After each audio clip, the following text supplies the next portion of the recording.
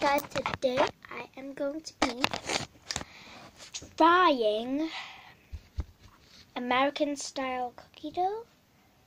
That's what said on on the thing. It said American style cookie dough ice cream.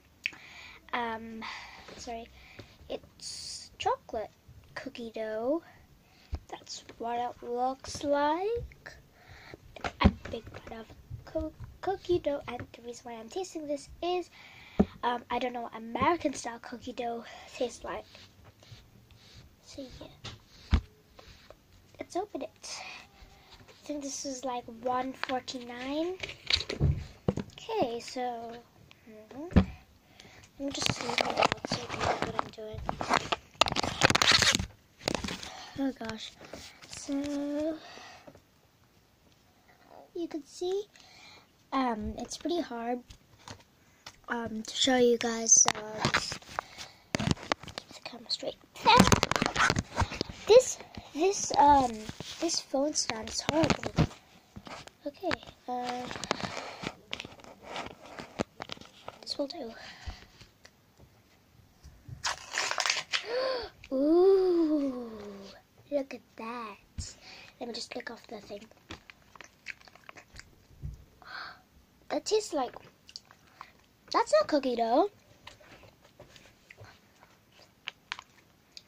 That's not cookie dough. It's more like a vanilla. Did they lie to us? Master of taste? no.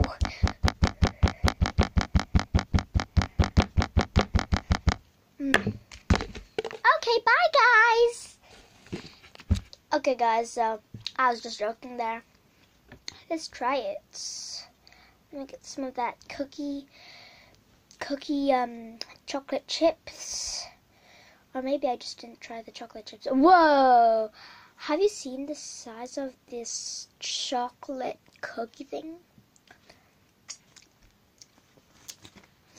guys, this was my um, homework for Thursday, but I Thursday or Friday, and I forgot to bring it in because we were starting a new topic. Our new topic is really easy. Inheritance. Um, let's see my. It's all about evolution, inheritance, and adaptation. Some work about it.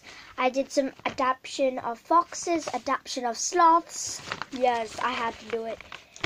Little sneak peek of my homework.